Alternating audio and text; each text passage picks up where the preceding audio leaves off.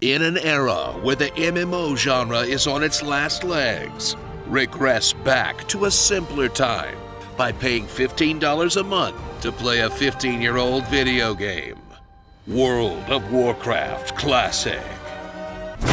Rediscover the game that changed a genre from a playground of innovation and new concepts to a factory line of games trying to be the next WoW killer by copying it and tweaking like one thing. While WoW itself just piled on expansions like a video game shanty town, becoming a bloated mess that feels more like a theme park than ever shedding the simple charms of the original for achievements, passive pet Pokemon, and other weird time sinks. In a design cluster that makes it clear why they said, eh, you know what, screw it, let's just put out old WoW again. And you know what? It works. We're all a bunch of massive rubes. Explore the wilds of Azeroth for the first time, uh, uh again as you revisit your favorite locations from the pre-Cataclysm world map. Then close the window and reinstall all the mods to make the game remotely playable again. And sigh deeply as you remember how long you will actually be grinding in these zones. Or the literal 20 minutes you have to run to get your character's flight path set up.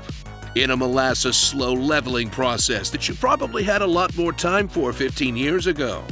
Holy sh! I've been level 11 for like three hours. I'm pretty sure this is what dying feels like. Feel the cockles of your heart warm with tender memories as you relive all the charming inconveniences of classic WoW. Like dead zones, where you run out of quests and just have to grind. Wacky itemization like cloth with strength on it.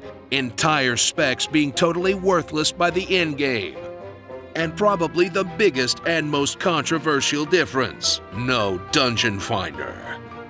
Leading you to spend a lot more time begging for a tank or healer in general chat, until you just roll one yourself and discover what it feels like for someone to actually want you around. At least until you wipe and get all the blame for your troubles. The most classic part of Classic WoW? Spending four hours to not finish Wailing Caverns. Climb your way up the difficulty curve and summit the leveling mountain as you prepare to enter the fabled endgame of WoW Classic, most of which involves more preparing, where you gather resistance gear and stack up mats for potions.